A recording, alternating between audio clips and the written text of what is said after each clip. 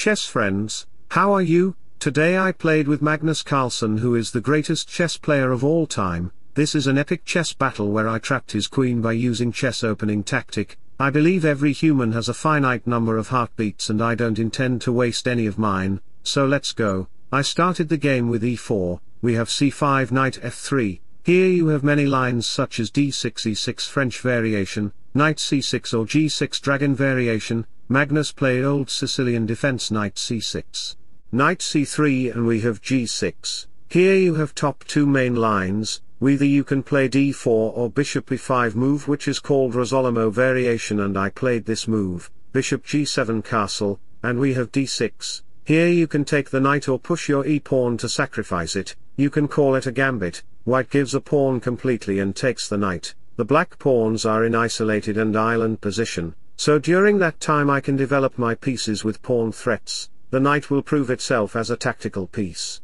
So we have d3 and Magnus played c4, he is giving back my pawn but it's a tactical strategy, if you dare to take the pawn then by capturing the pawn you will lose control over the e4 square, therefore black will push the e-pawn to counter the knight after queen c7, f5 can be possible there to build the king center structure, or black can do queen exchange and then bishop f5 will be a reasonable choice. The center e-pawn can create problem for my pieces, so in this position we have rook e1 first to target this pawn, queen d6 to protect it and I get an extra move for my knight by targeting to the queen, queen d5 bishop, d2 c takes d3 and you shouldn't take the pawn so I played best move knight c3 to target the queen.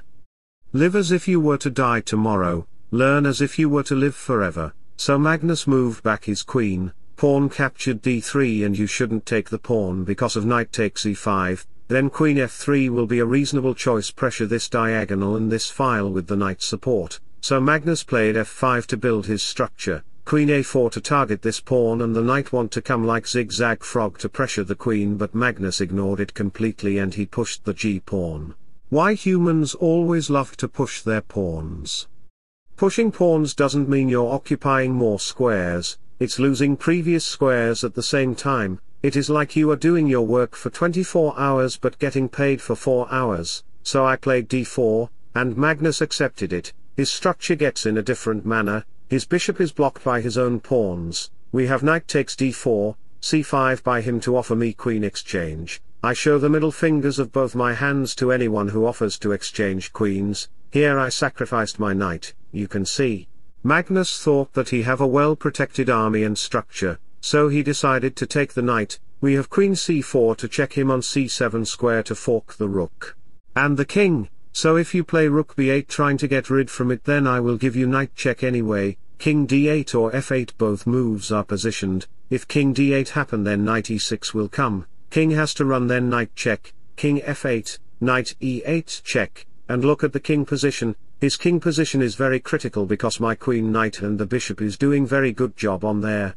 so back to the position, here we have e6 and I sacrificed my rook, that's a brilliant move. I think Magnus didn't expect it, we have queen takes rook and now rook e1, to pin the queen, queen takes rook bishop takes rook, knight c7 check is coming and I have the queen for two rooks and of course he have an extra piece, but that doesn't matter to me because I am Stockfish, owner of Stockfish channel, and chess friends, if you haven't subscribed to my YouTube channel, then what are you doing huh? Just click on the subscribe button then you will immediately gain plus 100 elo and confidence in your brain, we have queen takes d4 to target this pawn, and laser the bishop, so Magnus played rook b6 to target it and block the diagonal, knight f5 discover check, king e6 knight takes g7 check. King f7, Knight h5 and here many players would like to develop his pieces but that will not help anything, I will capture the pawn with knight and after takes, I will play bishop c3 to target the rook and after rook,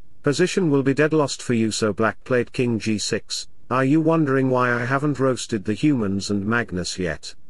I don't like to roast and toast to that human creature who have no intelligence at all, the gorillas have more IQ than a human, we have bishop a5, rook a6, bishop c3, rook b6 a4, and after some moves later we have queen c4 to target the bishop, and the rooks, so we have rook f8, f4, and you can't go for a pawn, let me show you the variation, Knight takes pawn check will come, king g5 then queen c5 check king h4, bishop e1 check and look at this, game will be over.